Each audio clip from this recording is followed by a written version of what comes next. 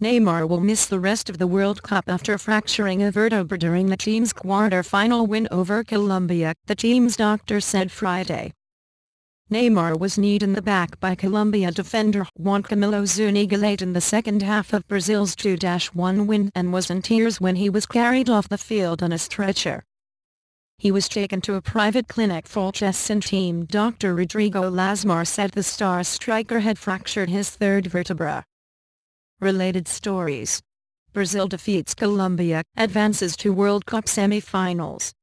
He will not be in condition to play. He will need a few weeks to be fit again, Lasmar said. He is very, very sad. Lasmar said Neymar will not have to undergo surgery and is not expected to remain hospitalized. The 22-year-old forward is Brazil's biggest star and had scored four goals for the team so far in his first World Cup.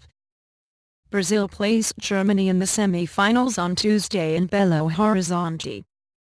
Neymar was hurt in the 86th minute at the Arena Castelão in Fortaleza, falling to the ground in pain after